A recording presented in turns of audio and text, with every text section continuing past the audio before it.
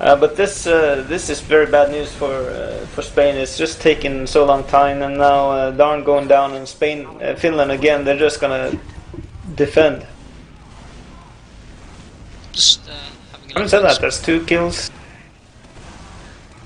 Yeah, KTJ has the Uber. He's, he has he has absolutely no one to use it on though, and his team Yeah, are four down. four down. The trappers work perfectly again for Finland. Second time lucky. Backcap not able, just not able to to uh, to do enough. It's gonna Yeah, be four one here to- for Spain. Uh, sorry, for, in Finland's favour, and it looks like it's gonna be GG with only four minutes left. I'm just looking at the kills here. Darn 24 kills, Muffy 22 kills, Hawks 21 kills. And I'm looking at the bottom of Spain. Hyper 5 kills, Pescanova Yeah. 5 kills. Uh, Finland have um, really, really stepped it up. You'd have to say. One uh, fifth, one fifth of Darn. They've uh, really stepped up their game. The defending champions. Am I correct in saying? I think I'm correct in saying the defending champions. Um, yeah. Uh, I think uh, I think if you would have asked me, I would expect Finland to be stronger on this map for sure. I didn't expect Spain to uh, to plummet so much, but Badlands is a more loose map for uh, for this guerrilla tactics. Uh, with uh, Granary certainly isn't.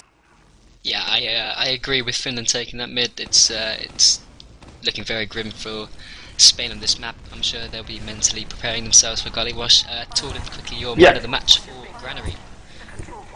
Uh, yeah, I gotta go Can be with. from both uh, teams. Um, I yeah. don't know who you choose from, from for Spain, but um, Yeah, no, they haven't the really uh, been shining any of them this map. Uh, I think uh, Darn has been doing some some strong moves and being sneaky and popping Ubers and just utilizing all of those gaps.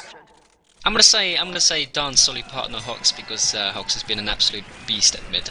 Uh, if you watch him at Granary mid, he's uh, so solid, keeping stuff off his medic. Not always working, but he's uh, he's been pretty solid. So, yeah, uh, Finland have definitely stepped up their game. Um, predictions going to Gullywash, Torden? Yeah, that's that's a very interesting one because Gullywash, I think, in terms of guerrilla style, is a little bit of uh, halfway Badlands, halfway uh, Granary.